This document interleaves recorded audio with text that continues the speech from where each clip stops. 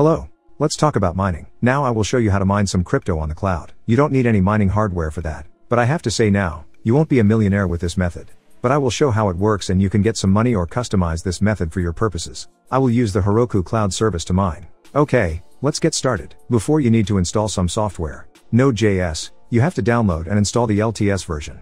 Git, download the latest version. The Heroku CLI, this soft will help you to deploy the miner to Heroku. Then register at the Heroku. Just enter email and some info. Confirm email and enter password. All used here links can be found in the description below. And what kind of crypto will I be farming? In this video I will use the Duino coin. That token can be mined using many types of devices like Arduino boards, Raspberry Pi, routers, or even PC. You can find another token which will be more profitable. So there are a lot of scripts that can be used to mine Duino coin. I found one of the simplest scripts on GitHub, and made a fork of that. It's adapted to deploy the miner to the Heroku cloud.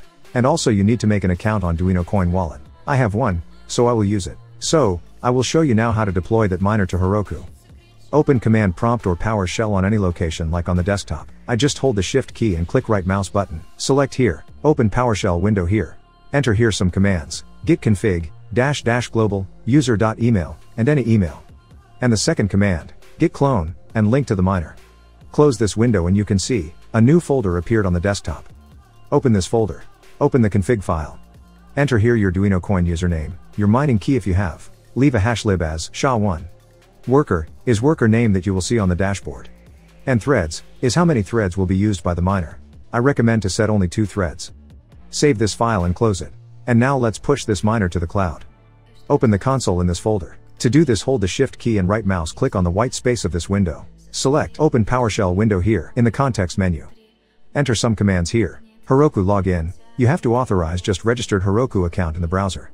Git init, git add, and git commit-m and some text in quotes. Heroku create, it will create new application on the Heroku dashboard. Git push Heroku main, it can take some time. Then enter, Heroku ps scale, web equals 0, and the same command with bot equals 1. And your miner is running in the cloud right now. To check it out, go to the Heroku dashboard, select the application you just created in the PowerShell.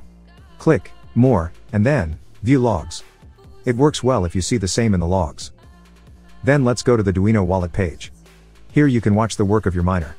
What is the hash rate now, how many threads, and how many accepted blocks? Of course this hash rate is very low, but we can make more apps on the Heroku. How to do that? Go to the miner folder. In the View tab flag this checkbox, Hidden Files. Then you need to remove a Git folder. Open PowerShell here again. Enter the same commands here as for the previous app. Enter, git push Heroku master instead of main, if it doesn't work. You can create up to 5 applications for one Heroku account with a free plan. So I made 5 apps, you can see it on the Heroku dashboard. Then I just created 4 more Heroku accounts. When you push the miner to another account you have to re-log in in the PowerShell, just enter, Heroku login, and authorize it in the browser. And then just enter the same commands to push the script to Heroku. So I have 5 accounts with 25 applications, and with 50 threads. And I have about 10 megahashes per second. That's not much, but it's working. Of course you can't mine here really a lot of crypto, but you no need to buy video cards or Arduino boards for this. And also, maybe its value will increase in the future. Anyway you have to upload this miner to the cloud only one time and it will work all the time. I don't know maybe it will be fixed, it's working now. If you have some ideas you can send it in the comments, or in Telegram and Discord. I will also post in the Telegram channel how many Duino coins and other tokens I will get with that method. Thank you for watching.